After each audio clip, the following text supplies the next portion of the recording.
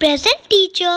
Hello champions आज हम लोग क्लास वन में पाठ सात रसोई घर कविता का अगला प्रश्न देखेंगे। प्रश्न क्या है? सही गलत। सही और गलत का निशान लगाना है। क्या है प्रश्न? रसोई घर का चित्र देखो और बताओ। रसोई घर का चित्र देखना है और बताना है कि क्या सही है, क्या गलत है। चलिए हम लोग रसोई घर का चित्र देखते हैं। क्या है? यहाँ पर क्या है? थाली रखा हुआ है, यहाँ गिलास रखा हुआ है, यहाँ पर बहुत सारे बर्तन रखे हुए हैं। यहाँ क्या कर रही है? तो माँ खाना पका रही है। क्या है बच्चों? ये है पतीला। और पतीला चूल्हा के ऊपर क्या कर रहा है? तो चूल्हा के ऊपर में खाना पकाया जा रहा है पतीले में। और क्या है? तो ये है लैम्प और लैम्प मीन्स लालटेन। लालटेन क्या यहाँ पर रखा हुआ है। और क्या है बच्चों? और माँ यहाँ पर खाना पका रही है, बहुत सारे चीज़ों को रखी है। चलिए हम लोग अगला चित्र देखते हैं। अगला चित्र क्या है? अगला चित्र है, ये क्या है बच्चों? ये है खिड़की। और खिड़की से ये कौन है? ये बिल्ली क्या कर रही है? तो झाँक रही है। और क्या है? यहाँ पर एक बॉक्स रखा हुआ है। और क्या है बच्चों? यहाँ पर क्या है? अंगीठी और अंगीठी के अंदर में कौन दिख रहा है? तो अंगीठी के अंदर में एक चूहा दिख रहा है। ध्यान से देखोगे तो चूहा दिखाई देगा। यहाँ पर ये क्या कर रहा है? ये लड़का चावल बिन रहा है। और क्या है? ये है टोकरी। और टोकरी में क्या रखा हुआ है? टोकरी में लौकी है। और क्या है? बहुत सारे टमाटर दिख रहा है। मिस टोकरी में बहुत सारे सब्ज़ी रखे गए हैं। दादी माँ क्या कर रही है? दादी माँ दादी माँ किताब पढ़ रही है। चलिए, अब हम लोग प्रश्न देखते हैं। प्रश्न क्या है बच्चों?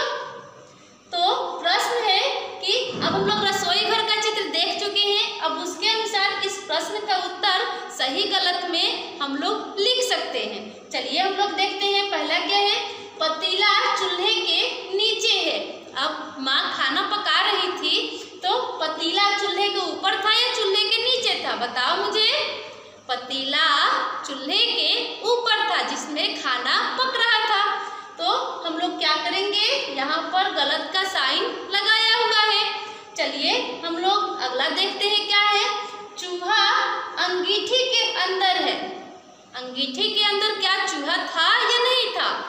हम लोग चित्र में देखे हैं। चूहा अंगीठी के अंदर दिखाई दे रहा है। तो यहाँ पर हम लोग क्या लिखेंगे? हम लोग साइन लगाएँगे सही का। चलिए लगाते हैं। अगला क्या है बच्चों? अगला क्या है? टोकरी में आम रखे हैं। अब बताना है कि टोकरी में आम रखा हुआ है या सब्ज़ी रखा हुआ है बच्चों? टोकरी में उसमें आम नहीं था। क्या करेंगे हम लोग? यहाँ पर क्रॉस का साइन लगा देंगे। चलिए लगाते हैं। और क्या है बच्चों? अक्षय चावल बीन रहा है। अब एक लड़का क्या कर रहा था? तो चावल बीन रहा था। तो उस लड़के का नाम क्या है? अक्षय। अक्षय क्या कर रहा है? अक्षय चावल बीन रहा है। यह सही वाक्य है क्या करेंगे सही का निशान लगाएँगे चलिए लगाते हैं। अगला क्या है? माँ खाना बना रही है। माँ खाना बना रही है या नहीं बना रही है? सोचो और बताओ। हम लोग चित्र में देखे हैं कि माँ खाना पका रही थी मीन्स बना रही थी। क्या करेंगे? इसको भी सही का निशान लगाएँगे। क्या है? आले में लालटेन रखी है। अब यहाँ पर एक आला दिखाया हुआ था जिसमें क्या था लैंप या लालटेन दोनों में सा भी बोल सकते हो उसे। इसलिए यहाँ पर क्या है? आले में लालटेन रखी है। उसमें क्या रखा हुआ था? उसमें लालटेन भी रखा हुआ है। तो क्या करेंगे? यहाँ पर ये वाक्य सही है। आले में लालटेन रखी हुई है। क्या करेंगे? सही का निशान लगाएँगे। चलिए लगाते हैं। अगला क्या है? दादी किताब पढ़ रही है। अब चित्र जो देखे हैं, उसमें दादी क्या कर रही है? दादी किताब पढ़ रही है क्या लिखेंगे तो सही का साइन लगा देंगे। चलिए सही का साइन लगाते हैं। अगला क्या है? सुहानी खिड़की से झाँक रही है। अब सुहानी खिड़की से खिड़की से कौन झाँक रहा है? सोचो और बताओ। तो खिड़की से एक बिल्ली झाँक रही है और बिल्ली झाँक रही है। क्या होगा यहाँ पर? उस बिल्ली का क्या नाम है? उस बिल्ली का नाम है सुहानी। तो सुहानी खिड़की से झाँक रही है।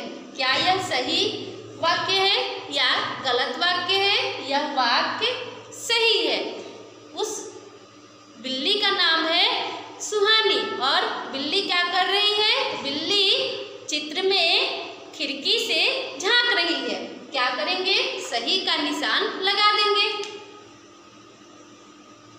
क्या हुआ अब एक बार जो हम लोग सही गलत किए हैं उसको एक साथ पढ़ते हैं पतीला चूल्हे के नीचे है। गलत। चूहा अंगीठी के अंदर है। सही। टोकरी में आम रखे हैं। गलत। टोकरी में सब्ज़ी है। आम नहीं है।